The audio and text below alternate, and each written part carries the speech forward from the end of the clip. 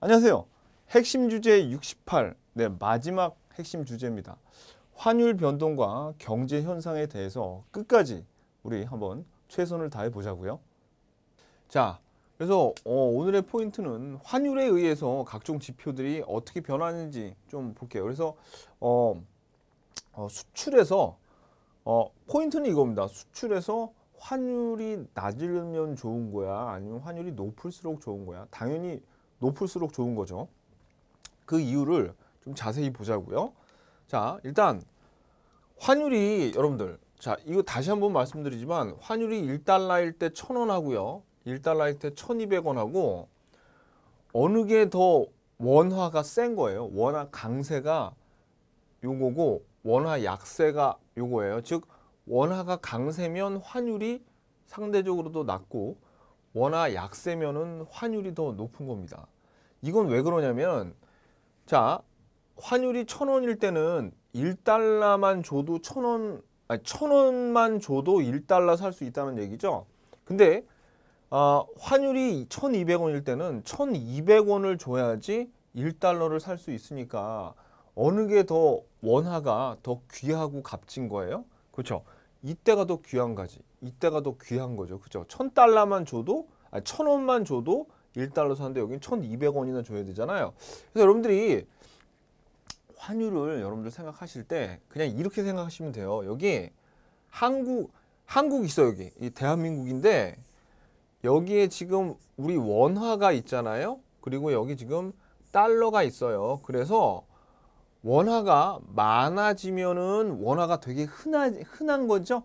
자, 원화가 원래 요만큼 있을 때 요게 뭐 천 원이었고 그 다음에 요게 1달러였어요. 그래서 환율이 1달러당 천 원이었다면 만약에 원화가 굉장히 많아져 봐요. 그러면 어떻게 원화가 이제 흔해져. 원화가 흔해지면 그 값어치가 떨어질 거 아닙니까? 원화가 많아지니까 이게 한 1,200원으로 이렇게 올라가는 거예요. 환율이. 환율이. 예전에는 1,000개를 줘야지 한 개를 바꿨는데 이제 1,200개를 줘야지 달러 하나랑 바꿀 수가 있게 되는 거죠. 그럼 원화가 어느 때 이렇게 흔해지겠습니까? 그렇죠. 중앙은행에서 본원 통화를 많이 내므로써 통화량이 증가했을 때 뭐 그런 경우가 있겠죠. 자, 이번에는 이거 볼까요? 달러를 달러가 이제 굉장히 흔해졌어요. 그러면 이제 달러가 뭐 예를 들어서 한 장 있다가 이제 두 장 생긴 거죠. 그러면 이제 환율이 어떻게 됩니까? 예전에는 천 장을 줘야지 하나 바꿨는데 이제 천장 주면 두 개 바꿀 수 있어.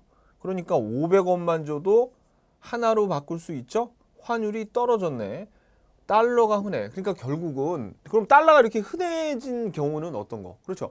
우리 기업이 수출을 많이 하거나 외국인이 투자를 한국에다가 투자를 많이 해서 달러가 많아지면 이렇게 되는 거죠. 아니면 원화가 상대적으로 통화량이 줄어들던가. 무슨 뜻인지 아시겠죠? 그죠? 자, 그러면 달러가 이렇게 모이게 되는 건 수출과 수입이 있고 그럴 수가 있겠네. 이자율이 높아졌어요. 그럼 외국인들이 우리나라에 투자 많이 하죠. 그러면 어떻게 환율이 어떻게 요 낮아진다고 이렇게 이런 식으로 그런 거. 그러니까 결국 흔하면 두 지폐 중에 흔한 흔한 거 흔한 거 그리고 귀한 거 이것만 따지면 웬만큼 환율을 여러분들이 그걸 가지고 감을 잡으셔야 돼. 헷갈리지 마시고 여러분들 알았죠? 자 그러면 자 여기 이제 쭉 설명드린 거예요. 자, 환율이 작을수록 원화 가치가 높은 거죠. 환율이 낮을수록 원화 가치가 높아요. 그래서 우리가 이걸 원화 강세라고 하고 원화 강세랑 좀 비슷하지만 다른 말이 있는데 뭐가 있냐면 평가 절상이란 말이 있어요. 그리고 자, 환율이 자, 클수록 원화 가치가 낮죠. 이건 원화 약세인데 요거는 뭐라 그러냐면 평가 절하라는 말이 있습니다. 그런데 요 원화 약세 평가 절하, 원화 강세 평가 절상이 서로 같은 말은 아니에요. 비슷한 뜻이긴 한데 왜냐면 자 원화 강세와 원화 약세는 즉 환율이 상승하고 환율이 하락하는 거는 우리 변동 환율 제도에서 시장의 원리에 의해서 누군가의 개입이 없을 때 환율이 상승, 환율이 하락, 원화 약세, 원화 강세 이런 표현을 쓰는데 원화 평가를 절상하고 평가를 절하했다는 말은 뭐냐면요. 우리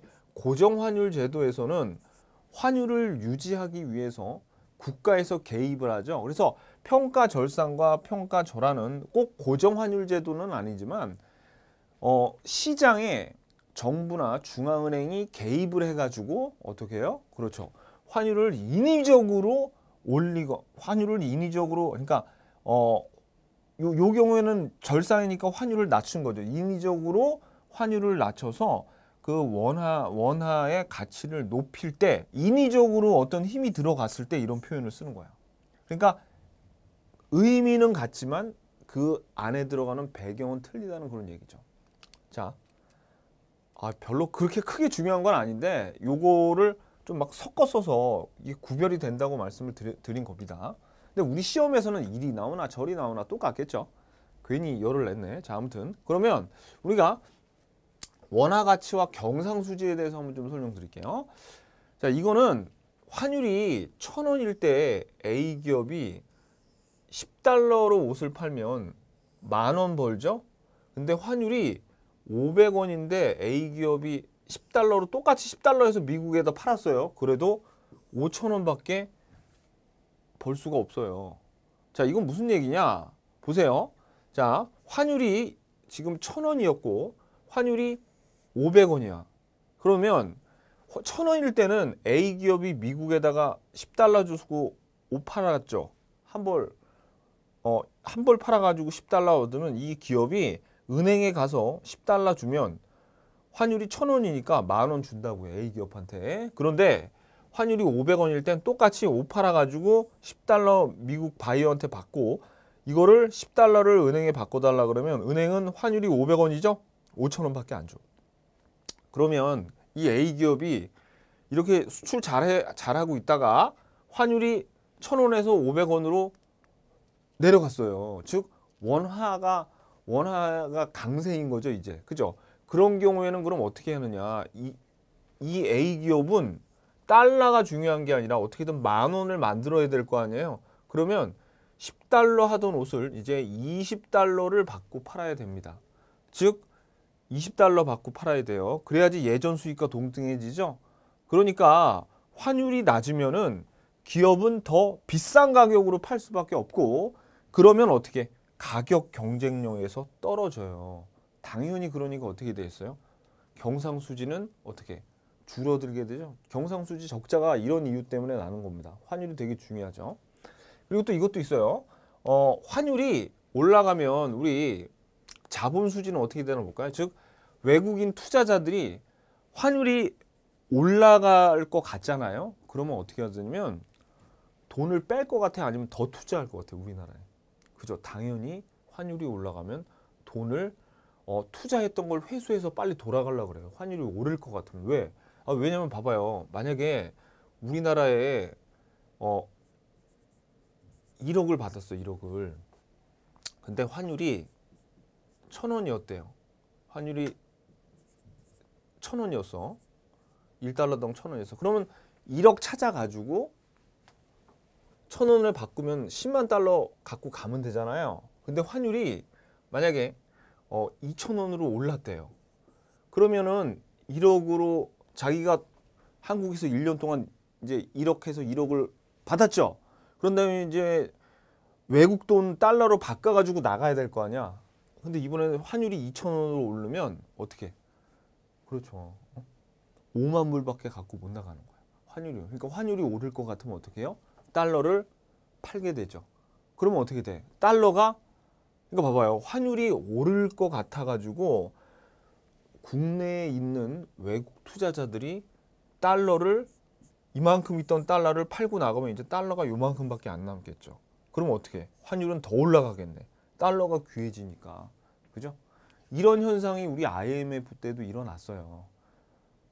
환, 환율을 고정 환율을 만들려고 그랬는데 어, 환율을 고정 환율로 지키려고 하다가 나중에 변동 환율로 바꿨는데 왜 그나마 얼마 있지도 않은 돈을 외국에서 다 막 빼가는 거야. 그러니까 돈이 막 없어지는 거죠, 그죠? 그래가지고 환율이 막 급등하고 지금 어떤 그 남미와 같은 그런 국가들 있죠.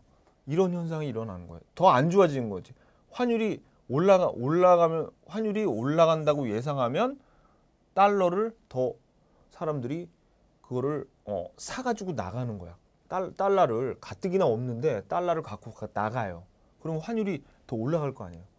그러니까 그냥 불을 깨우는. 그러니까 이 외국인의 투자를 받을 때 그걸 조심해야 돼요. 그래서 어, 경상수지가 안정적인 나라는 어, 경상수지가 흑자여서 외화를 버는 나라는 웬만큼 그래도 어떤 그 환위험이나 이런 데 노출이 덜 돼 있는데 경상수지가 적자인 상태에서 외국인의 투자가 많아가지고 그 자본 수지가 흑자인 나라 있죠? 이런 환위험에 언제나 노출이 되어 있어요. 그런 나라들. 자, 아무튼 자, 그래서 경상 그래서 요, 요 가격 경쟁률이 떠, 떨어져요. 이런 이런 이유 때문에. 자. 근데 반대로 수입 기업은 어떨까? 수입 기업은 환율이 낮아지면 유리하겠죠. 왜냐면 예전에는 만 원 주고 옷 한 벌 샀는데 이제 500원 주고 아 5천 원 주고 한 벌 살 수 있으니까 그 5천 원 주고 수입할 수 있으니까 더 좋아지는 거예요. 반대가 되는 거죠.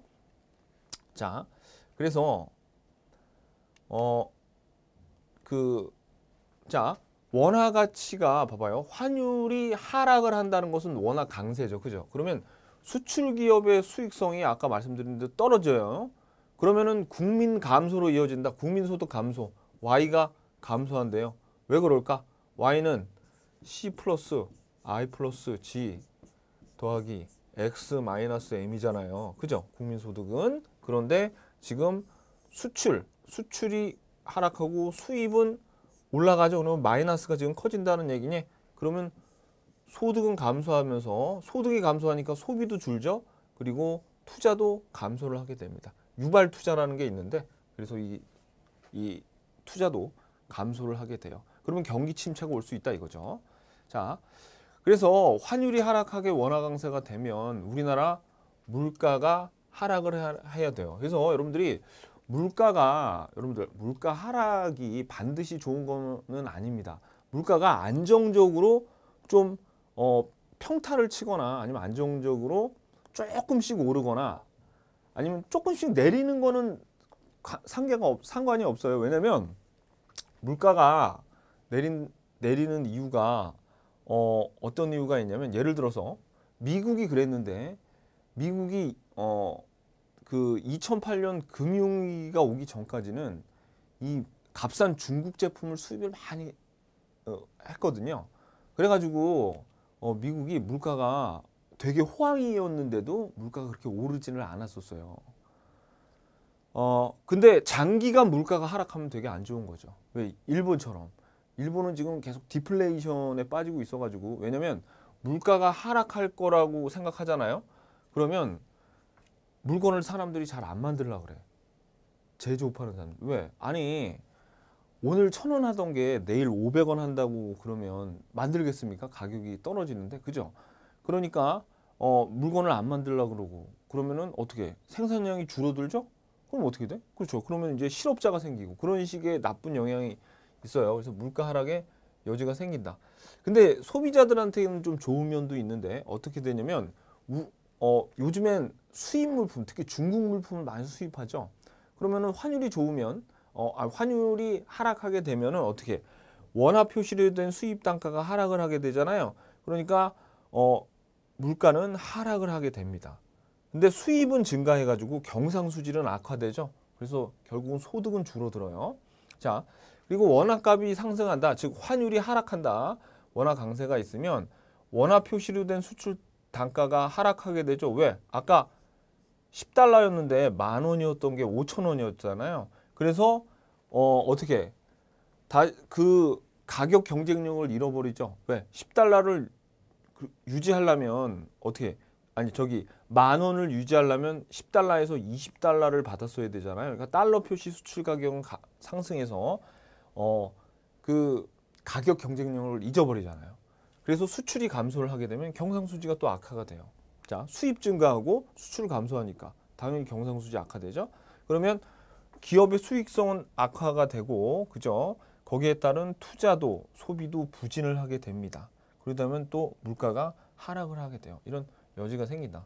자, 그래서 특히 우리나라처럼 이렇게 수출 주도형 국가는 어, 환율이 어, 좀 높은 게 그 기업들 입장에서는 수출 기업들 입장에서는 좋아요.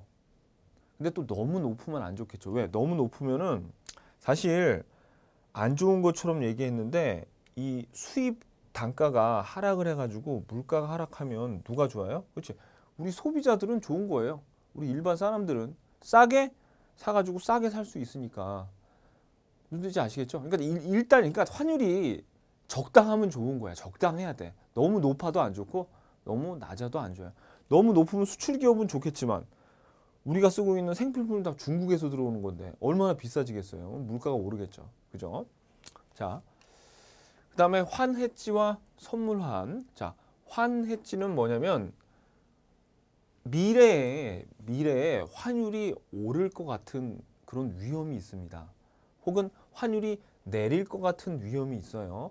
그 위험을 제거하는 것을 우리가 환해지라 그래요. 예를 들어서 보세요.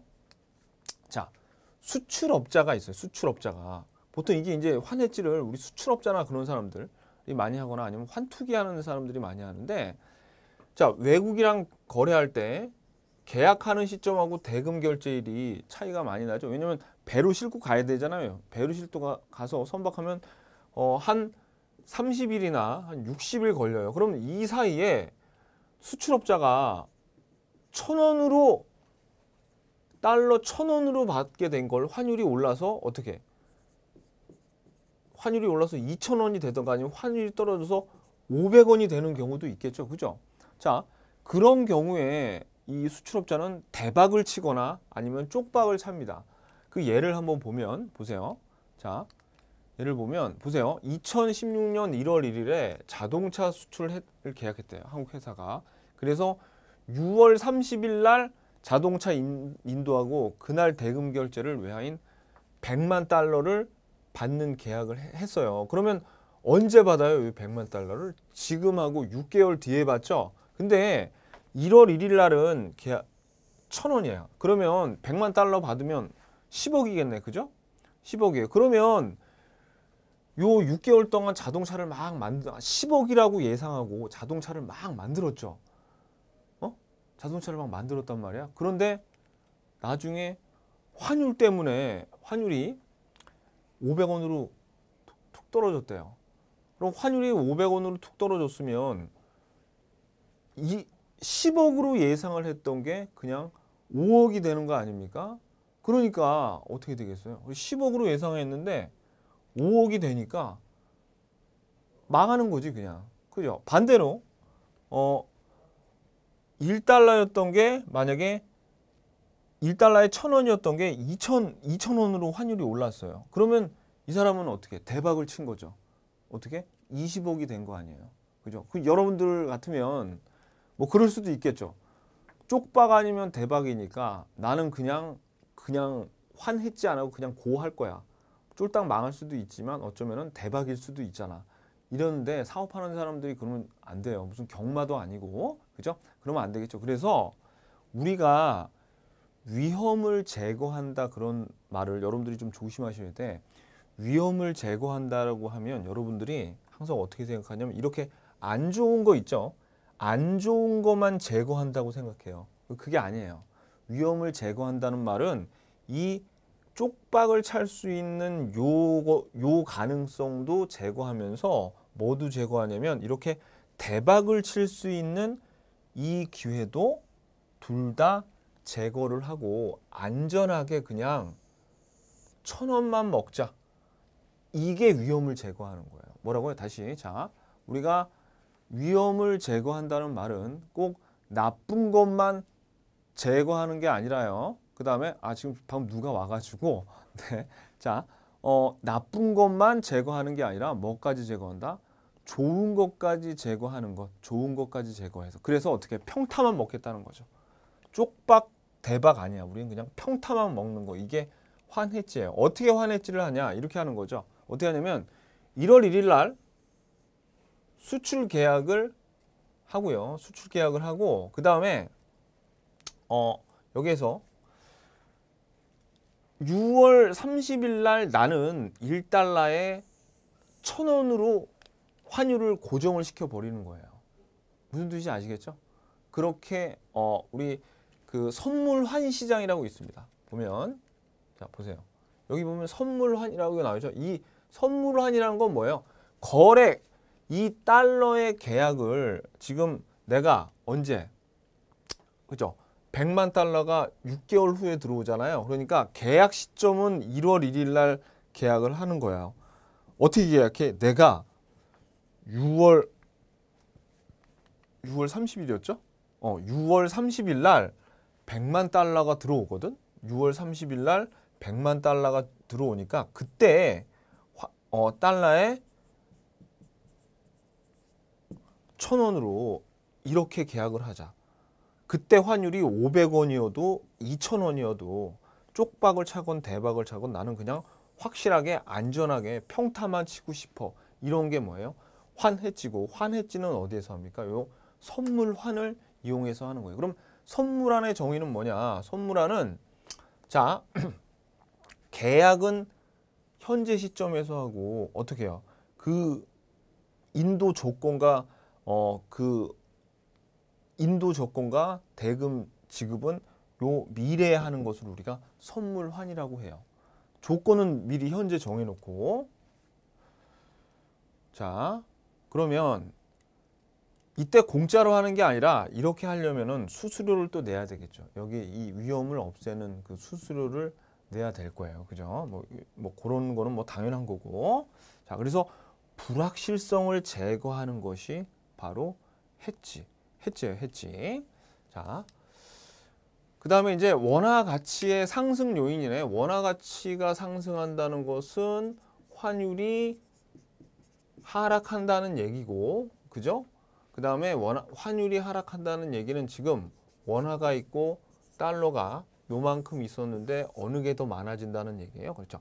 달러가 더 많아지거나 원화가 더 적어지거나 이런 상태가 된다는 얘기죠. 자, 그래서 달러가 수요 감소하고 달러의 공급이 증가했다. 달러가 많아지죠. 그러면 원화 가치가 상승한다. 달러도 일종의 자산이잖아요. 그러니까 이것도 다 수요와 공급에 원해서 어, 수요의 공급에 의해서 정해져요. 그 다음에 경상수지 흑자 수출 많이 해가지고 달러가 많아지죠. 그러면 원화 가치가 상승한다는 거죠. 자, 그 다음에 양적 와, 완화. 미국에서 양적 완화를 해서 미국에서 따, 달러를 엄청나게 찍어대요. 그러면 원화 가치는 상승하게 되죠. 그죠? 자, 핵심 예제 1번. 환율과 관련된 설명으로 적절하지 않은 것은 1번. 미국은 금융위기 이후 더욱 심화된 경상수지 적자를 해결하고자 중국에 대해 위안화 평가 절하를 강력하게 요구하였다. 평가 절하를 요구하는 게 아니라 절상을 요구해야 되겠죠. 왜냐하면 지금 중국이 미국에 수출해, 수출을 너무 많이 해서 미국의 경상수지가 적자가 되고 있는 거죠. 그러니까 평가 절상을 해야지 중국의 가격 경쟁력이 떨어져서 미국이 덜 살 거 아니에요. 경상수지가 그나마 어, 적자의 폭이 줄어들 거 아닙니까? 그죠? 2번 미국과 EU가 통화량을 늘리면 일시적으로 중국 위안화 평가 절상 효과를 거둘 수 있죠. 왜냐? 자, 중국 돈은 요거밖에 없는데 자, 그 미국 돈하고 유럽 돈하고 이만큼이었었어요. 근데 미국 돈과 즉 달러와 유로가 이만큼 많아지면 중국이 상대적으로 더 중국 돈이 희소하게 되는 거죠. 귀하게 되는 거죠. 그러니까 평가 절상, 위안화 평가 절상의 효과를 가질 수 있고요. 한국은 어, 환율이 여러 가지 종류가 있는데 뭐 어, 원화 대 유로, 원화 대 엔화 뭐 여러 가지가 있지만 달러 대 원화 환율이 가장 중요합니다.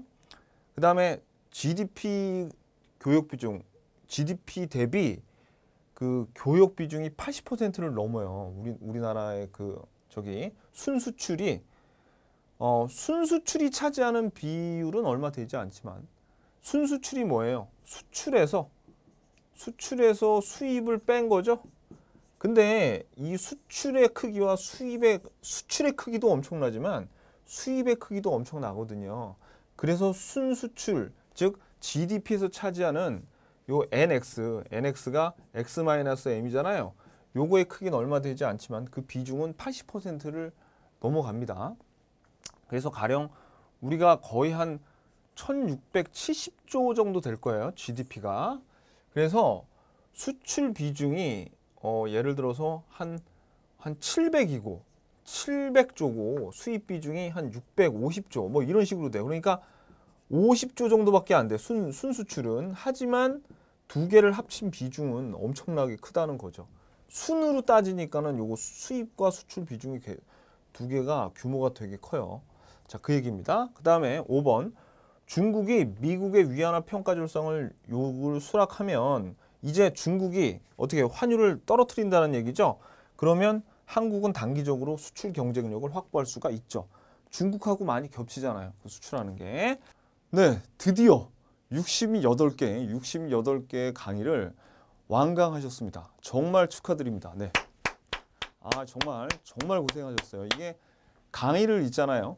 어, 하는 것보다 듣는 게 사실 더 힘들어요. 특히 인간 같은 경우에는 컴퓨터 앞에서 핸드폰을 들고 이렇게 들으셔야 되기 때문에 어, 이 막 그 끈기가 없으면 끝까지 들을 수가 없는데 정말 여러분들 정말 수고 많으셨어요.